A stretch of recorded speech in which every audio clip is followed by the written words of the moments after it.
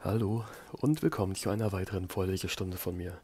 Für die heutige Vorlesestunde habe ich mir ein kleines Märchen rausgesucht. Es wurde eigentlich auch mal Zeit, dass wir mal ein Märchen uns zu Gemüte ziehen. Die letzten, ähm, die letzten Vorlesestunden waren ja eher Geschichten, Sagen. Genau. Dann machen wir heute einfach mal mit unserem ersten Märchen den Anfang. Ähm, in diesem Fall habe ich mir jetzt das äh, Märchen Das Feuerzeug von Hans Christian Andersen rausgesucht. Da Hans Christian Andersen ja eigentlich ein dänischer Autor oder Dichter gewesen ist, mm, liegt mir hier jetzt die, ähm, die Übersetzung von Mathilde Mann vor. Das Feuerzeug. Ein Soldat kam die Landstraße daher marschiert. Eins, zwei, eins, zwei. Er hatte seinen Tornister auf dem Rücken und einen Säbel an der Seite, denn er war im Krieg gewesen. Und nun wollte er nach Hause. Da begegnete ihm eine alte Hexe auf der Landstraße. Sie sah ganz abscheulich aus. Ihre Unterlippe hing bis auf ihre Brust herab. Sie sagte, Guten Abend, Soldat. Was für einen schönen Säbel und was für einen großen Tornister du hast. Du bist ein richtiger Soldat. Jetzt sollst du so viel Geld bekommen, wie du nur haben willst. Vielen Dank, du alte Hexe, sagte der Soldat. Kannst du den großen Baum sehen? sagte die Hexe und zeigte auf den Baum, der neben ihnen stand. Der ist inwendig ganz hohl. Du musst ihn, du musst in seinen Gipfel hinaufklettern.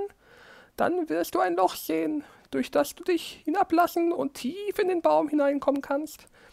Ich will dir einen Strick um den Leib binden, damit ich dich wieder heraufziehen kann, wenn du nur rufst. Was soll ich denn da unten im Baum? fragte der Soldat.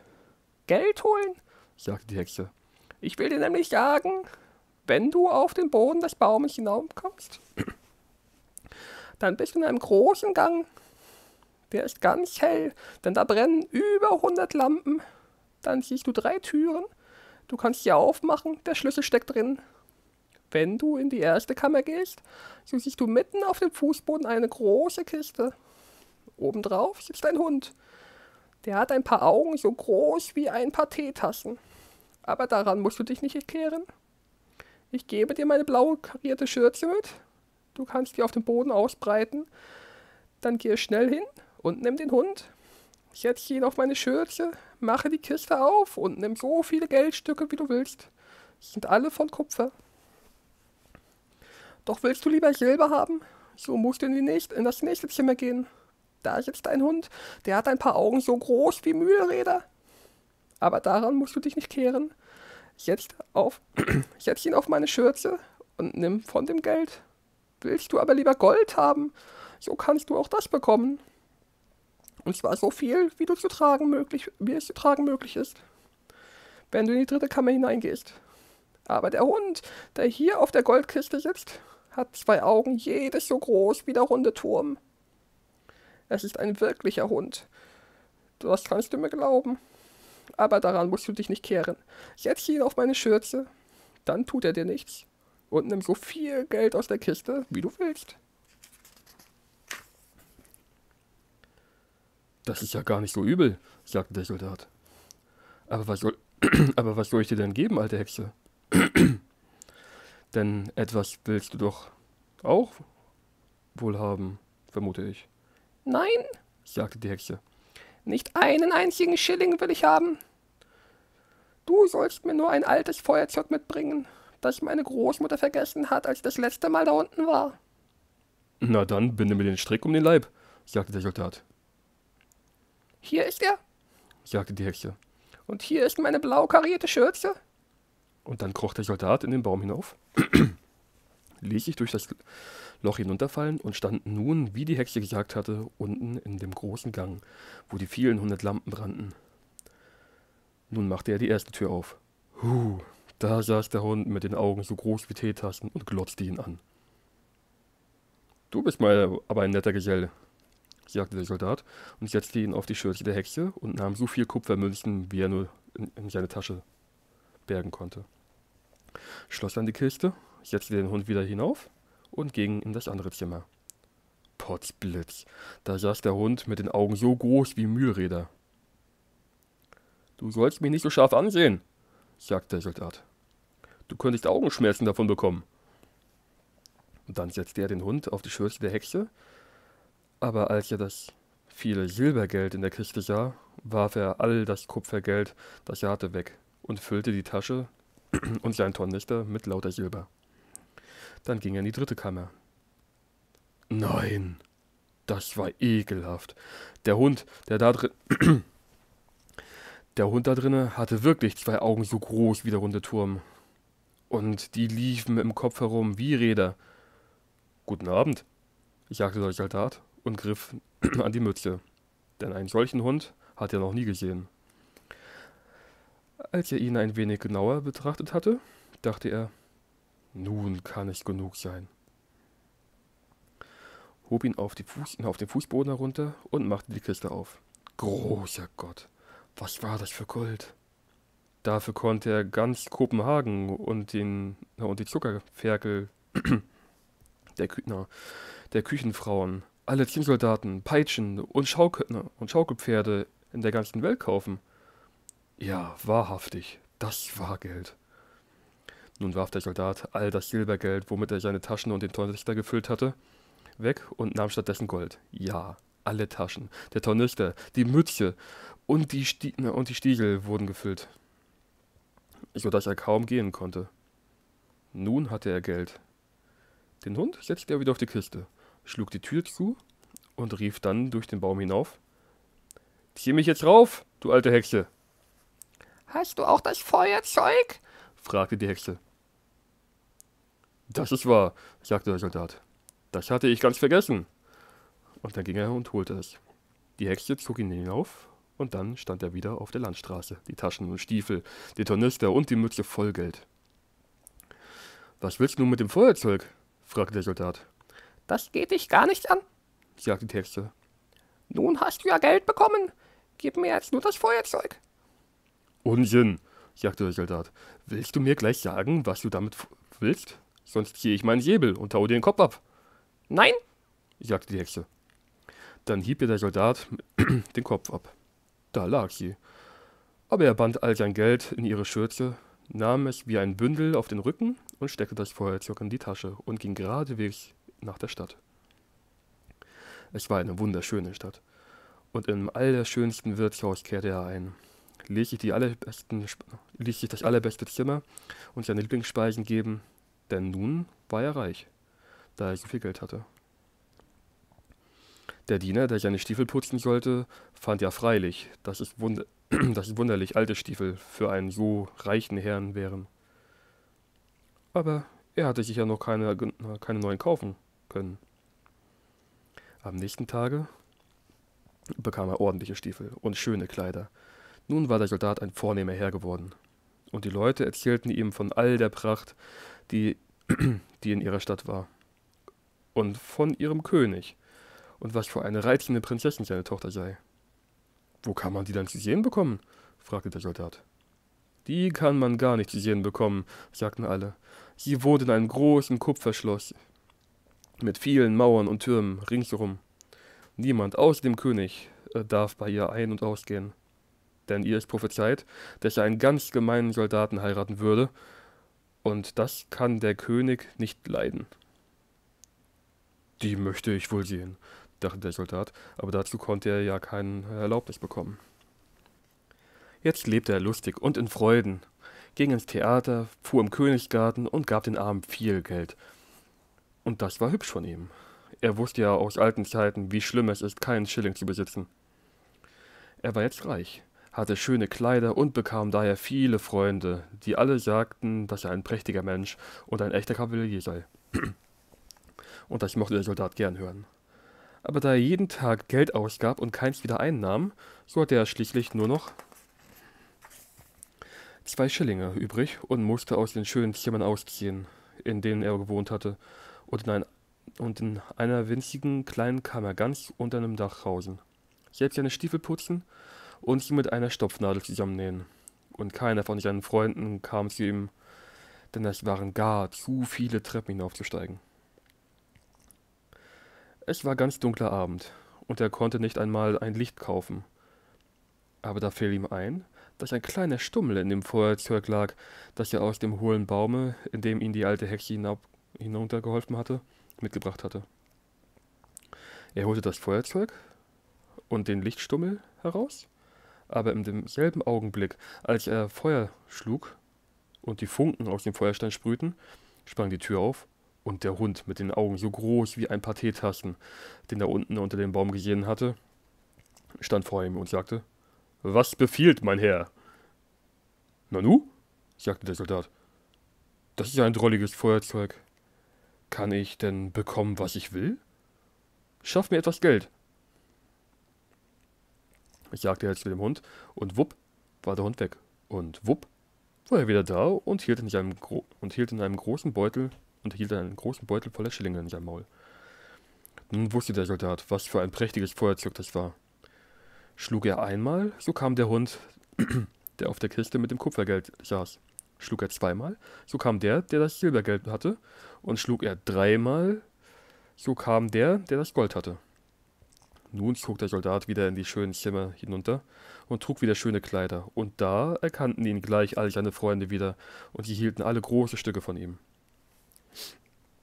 Da dachte er einmal, es ist doch ganz sonderbar, dass man die Prinzessin nicht sehen kann. Nicht zu sehen bekommen kann. Sie soll so schön sein, sagen sie alle. Aber was kann das nützen, wenn sie immer nur in dem großen Kupferke in dem Kupferschloss in den, mit den vielen Türmen sitzen muss? Kann ich sie denn gar nicht zu Gesicht bekommen? Und dann machte er Feuer und wupp war der Hund mit den Augen so groß wie Teetassen wieder da. Es ist ja freilich schon mitten in der Nacht, sagte der Soldat. Aber ich möchte doch so schrecklich gern die Prinzessin sehen. Nur einen kleinen Augenblick. Der Hund war gleich zur Tür hinaus, und ehe der Soldat sich versah, kam er mit der Prinzessin wieder zurück. Sie saß auf dem Rücken des Hundes und schlief und war so schön, dass jeder sehen konnte, dass es eine wirkliche Prinzessin war. Der Soldat konnte nicht anders, er konnte nicht lassen, er musste sie küssen, denn er war ein richtiger Soldat. Der Hund lief dann mit der Prinzessin zurück.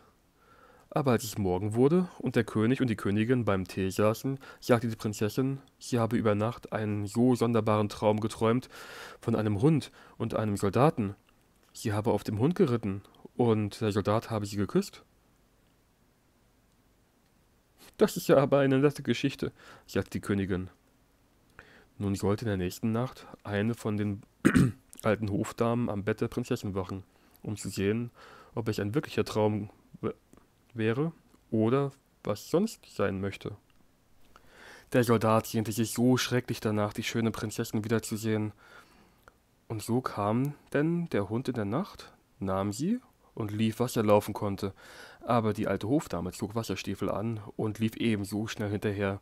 Als sie nun, als sie nun sah, dass sie in einem großen Haus verschwanden, dachte sie, jetzt weiß ich, wo es ist und machte mit einem Stück Kreide ein großes Kreuz an die Haustür. Dann ging sie nach Hause und legte sich schlafen, und der Hund kam auch mit der Prinzessin zurück. Aber als er sah, dass ein Kreuz an die Tür des Hauses gemacht war, in dem der Soldat wohnte, nahm er auch ein Stück Kreide und machte Kreuze an alle Haustüren in der ganzen Stadt. Und das war sehr klug von ihm. Denn nun konnte er die Hofdame und die, die richtige Tür nicht finden, da Kreuze an ihnen allen waren. Früh am Morgen kamen der König und die Königin und die alte Hofdame und alle Offiziere, um zu sehen, wo die Prinzessin gewesen war. Da ist es, sagte der König, als er die erste Haustür mit einem Kreuz drauf erblickte. Nein, da ist es, mein Herzensmann, sagte die Königin, als sie die zweite Tür mit einem Kreuz sah. Aber da ist eins. Und da noch eins, sagten sie alle zusammen. Wohin sie sahen, waren Kreuze an den Türen. Da konnten sie dann sehen, dass ihnen alles Suchen nichts helfen würde. Aber die Königin war eine sehr kluge Frau, die mehr konnte als in einer Kutsche fahren. Sie nahm ihre große goldene Schere, schnitt ein großes Stück Seidenzeug in Stücke und nähte dann einen allerliebsten kleinen Beutel. Den füllte sie mit ganz feiner Buchweizengrütze, band ihn der Prinzessin auf den Rücken, und als das geschehen war, schnitt sie ein kleines Loch in den Beutel, so dass die Grütze auf dem Weg, auf dem ganzen Wege den die Prinzessin zurücklegte, heraussickern konnte. In der Nacht kam nur der Hund wieder, nahm die Prinzessin auf seinen Rücken und lief mit ihr zu dem Soldaten hin, der sich so lieb hatte und so gern ein Prinz gewesen wäre, um sie zur Frau zu bekommen. Der Hund merkte es gar nicht, wie die Grütze hinaussickerte, vor dem Schloss bis zu dem Fenster des Soldaten, wo er mit der Prinzessin an der Mauer in die Höhe lief. Am Morgen sahen dann der König und die Königin, wo ihre Tochter gewesen war, und nahmen sie den Soldaten mit und setzten ihn in das Gefängnis. Da saß er nun. Huh, wie dunkel und langweilig es da war. Und dann sagten sie zu ihm, Morgen sollst du gehängt werden. Das war nicht äh, sonderlich erfreulich. Und sein Feuerzeug hatte er im Wirtshaus auch liegen lassen. Am Morgen konnte er durch das Eisengitter vor dem kleinen Fenster sehen, wie sich die Leute beeilten, aus der Stadt zu kommen und ihn, und ihn hängen zu sehen. Er hörte das Trommeln und sah die Soldaten marschieren. Alle Menschen liefen hinaus. Darunter war auch ein Schusterjunge mit Schutzfell und Pantoffeln. Der lief so im Galopp, dass er seinen einen Pantoffel, dass er eine Pantoffel abflog und gerade gegen die Mauer, wo der Soldat saß und zwischen den eisernen Stangen hinaus hindurchguckte. Heda, du Schusterjunge! Du brauchst dich gar nicht so zu beeilen, sagte der Soldat zu ihm. Es wird doch nichts daraus, ehe ich komme. Aber willst du nicht hinlaufen, wo ich gewohnt habe? Und mir mein Feuerzeug holen? Dann sollst du vier Schillinge haben. Aber du musst deine Beine in die Hand nehmen. Der Schusterjunge wollte gern die vier Schillinge haben und rannte davon, um das Feuerzeug zu holen. Gab es dem Soldaten und ja, nun werden wir hören. Draußen vor der Stadt war ein großer Galgen aufgemauert. Ringsumher standen Soldaten und viele hunderttausende Menschen. Der König und die Königin saßen auf einem wunderschönen Thron, den Richtern und dem ganzen Rat gerade gegenüber. Der Soldat stand schon auf der Leiter, aber als sie den Strick um seinen Hals schlingen wollten, sagte er, dass man einem Sünder, ehe er seine Strafe verbüße, ja immer die Erfüllung eines unschuldigen Wunsches gewähre. Er möchte so gerne eine Pfeife Tabak rauchen. Es sei, ja, es sei ja die letzte Pfeife auf dieser Welt. Dazu wollte der König dann auch nicht Nein sagen, und da nahm der Soldat sein Feuerzeug und schlug Feuer. Eins, zwei, drei. Und da standen alle Hunde, der mit den Augen so groß wie Teetassen, der mit den Augen wie Mühlräder und der, der Augen so groß wie der runde Turm hatte. Helft mir, dass ich nicht gehängt werde, sagte der Soldat. Und da fuhren die Hunde auf die Richter und den ganzen Rat los, nahmen den einen bei den Beinen, den anderen bei der Nase und warfen sie viele Klafter hoch in die Luft, so dass sie niederfielen und in laute Stücke zerschlugen. Ich will nicht, sagte der, Hund, sagte der König. Aber der größte Hund nahm ihn und auch die Königin und warf sie beide hinter allen den anderen dreien. Da erschraken die Soldaten und alle Leute riefen, Lieber Soldat, du sollst unser König sein und die schöne Prinzessin haben. Dann setzten sie den Soldaten in die Kutsche des Königs und alle drei Hunde tanzten vor ihm her und riefen Hurra! Und die Knaben pfiffen auf den Fingern und die Soldaten präsentierten das Gewehr. Die Prinzessin kam aus dem Kupferschloss heraus und wurde Königin, und das gefiel ihr sehr. Die Hochzeit währte acht Tage, und die Hunde saßen mit bei Tisch und machten große Augen. Ich hoffe, euch hat die kleine Vorlesestunde gefallen. Es war mal was anderes, mal ein kleines Märchen. Ähm, ihr könnt mir ja gerne in die Kommentare schreiben, ob ihr das Märchen jetzt schon kanntet oder ob das jetzt vielleicht sogar neu für euch gewesen ist. Es ist ja eigentlich schon ein etwas äh, bekannteres Märchen von äh, von Hans Christian Andersen. Ähm, ihr könnt mir auch generell eure Gedanken ähm, zu, dem, zu diesem Märchen oder zu dieser Vorlegestunde allgemein schreiben. Ähm, ihr könnt auch sehr gespannt sein, womit es dann in der nächsten Vorlegestunde weitergeht. Vielleicht gibt es da wieder eine Sage, vielleicht auch wieder ein Märchen. Lasst euch überraschen. Auf jeden Fall bedanke ich mich bei euch jetzt recht herzlich fürs Zuhören und hoffe, ihr seid beim nächsten Mal wieder dabei. Also bis dann. Ciao.